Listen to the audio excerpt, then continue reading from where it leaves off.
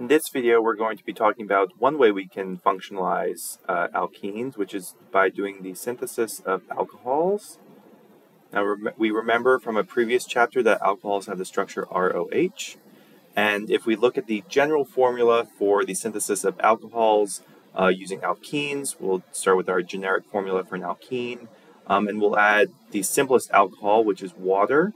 Um, we can already see that we'll have our delta positive, our delta negative, and uh, we imagine that we add across the double bond, we're going to add H to one side and OH to another side.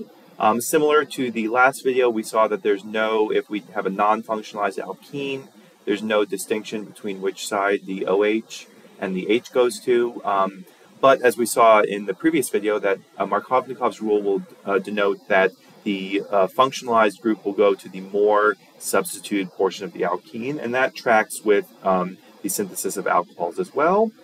Um, so we will see uh, three different syntheses of alcohols. We'll see acid catalyzed hydration.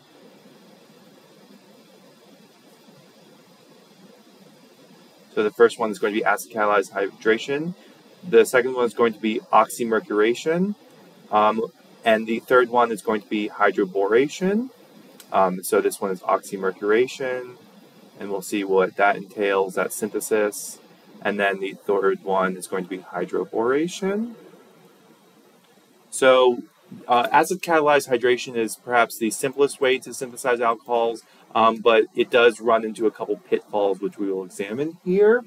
So acid catalyzed hydration is as such. We'll take, say we'll take a uh, asymmetric alkene.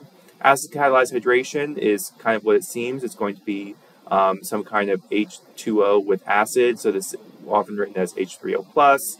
This can be written as H2O with H+. plus. Sometimes they specify the, the acid, so H2O and H2SO4. Anything that's a water and acid. So water and acid will form hydronium in solution, so that's why we often write it as H3O+. plus. Um, we'll be adding OH to the OH to one side of the double bond and H to the other side of the double bond. Since this does follow Markovnikov's rule, what we'll do is the OH will go to the more substituted and H will go to the less substituted.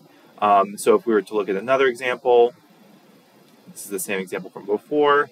We're going to add H3O plus, and we'll see that the OH will go to the tertiary center, the more substituted center.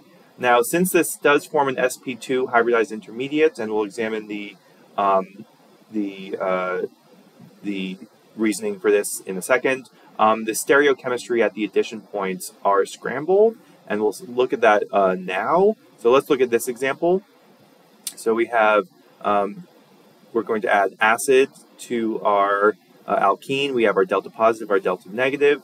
Um, just like we saw with HX addition, the first step is going to be protonation of the alkene um, to form a carbocation intermediate. So we're going to form the more stable carbocation. And this is the reason for the, um, the scrambling of stereochemistry. Since we do have an sp2 hybridized intermediate, um, you can have attack from either side. So when this water uh, comes in and attacks, so we have attack by water in the next step, it could attack from uh, either face of this sp2 hybridized uh, bond, which uh, looks, if we were to draw this with, uh, it, with stereochemistry, it would look something like this. So we have uh, two CH3 groups, and then you have your carbocation, which exists in the lone p orbital. So you can have attack from either side, either the top or the bottom, which scrambles stereochemistry. So that's why this is often written as a straight line.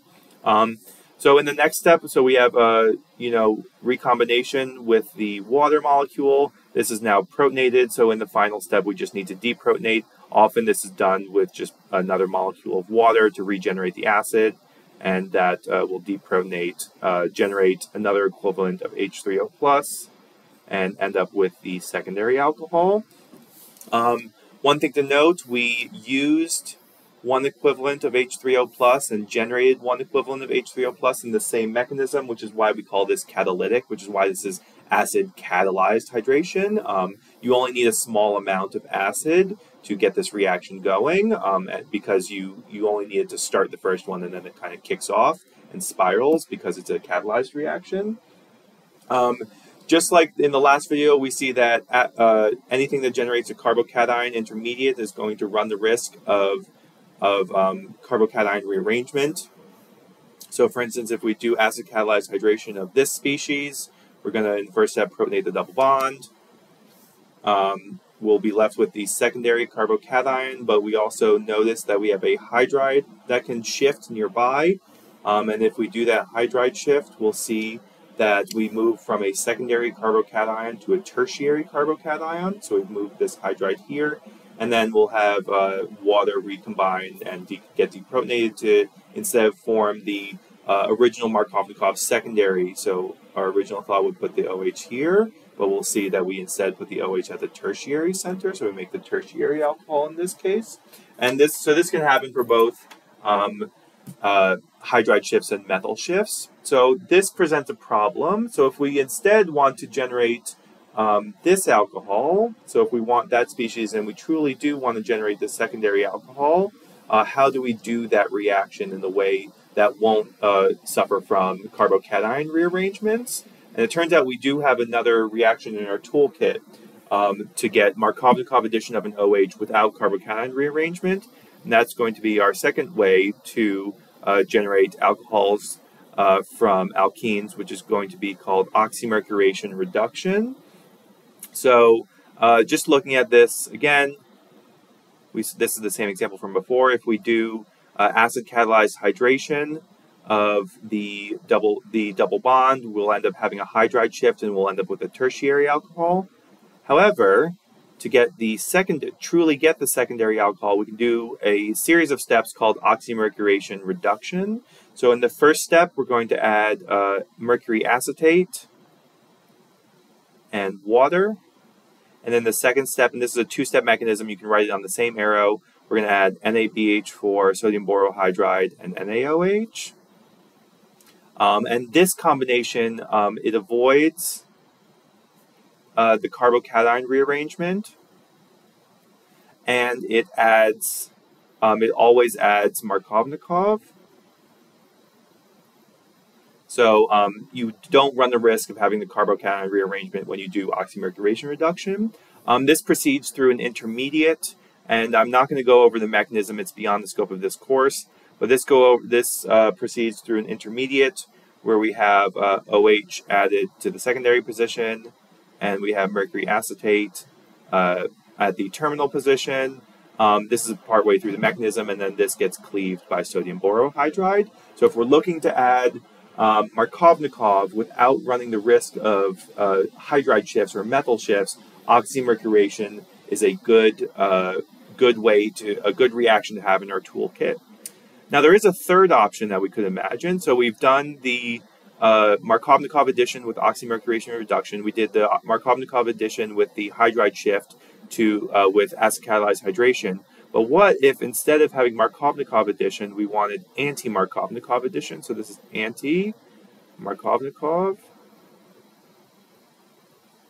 How would we get uh, anti-Markovnikov uh, addition of an alcohol to an alkene? And uh, the one reaction that really works well for anti-Markovnikov addition of an al- to of an alcohol to an alkene It's going to be uh, hydroboration oxidation.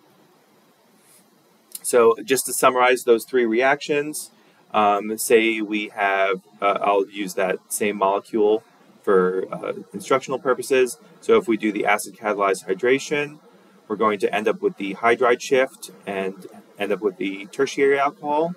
We now saw that if we do oxymercuration uh, reduction, so that's uh, mercury acetate and water in the first step, followed by sodium borohydride and uh, sodium hydroxide, we will end up with the true Markovnikov addition of the alcohol. We'll end up with the secondary alcohol. But if we want to do anti-Markovnikov addition, um, we have to do something special, which is hydroboration oxidation. So there's two steps similar to the oxymercuration oxid- uh, reduction. So in the first step, we're going to add uh, R2BH, and I'll explain what this means in a second. And in the second step, we'll add uh, hydrogen peroxide and sodium hydroxide. So what ends up here is we get the anti-Markovnikov addition. See, we we generate the primary alcohol versus the secondary alcohol. So we've done an anti-Markovnikov. The H has gone into the secondary position, and the alcohol, the OH, has gone to the less substituted position. Um, so this R2 uh, R2BH can appear as many things in the literature. Um, sometimes it's seen as B2H6, sometimes it's seen as BH3THF. This is a common one. Um, sometimes it's shown as H2B pin. Either way, we're seeing this boron and hydride. Um, and this is because it proceeds through an intermediate that looks something like this, similar to the oxymercuration reduction step. Um, we have our H addition and our BH, our BR2 addition. Um, this was once connected um, across the double bond, so the BR2 goes to the less substituted position, and um, then that's oxidized out to form the OH at the terminal position. Um, nice thing, uh, just to summarize, uh, acid catalyzed hydration, so H plus catalyzed hydration is going to be our Markovnikov, um, but you also run the risk of C plus rearrangement. Um, the oxymercuration is good if you want to do Markovnikov addition um, without C plus rearrangement, so you don't run the risk of having carbocation rearrangement with uh, oxymercuration reduction. And then finally, the hydroboration is going to be anti Markovnikov, meaning it goes to the less substituted position, and this also has no carbocation rearrangement, so you don't have to worry about uh, any hydride or methyl shifts in the middle for either the uh, oxymercuration or the hydroboration portions of addition of alcohols to alkenes. If we also do want to talk briefly about stereochemistry, um, we saw that in the acid catalyzed hydration, the stereochem, since it does proceed through a uh, carbocation rearrangement, or carbocation intermediate rather, the stereochem gets scrambled.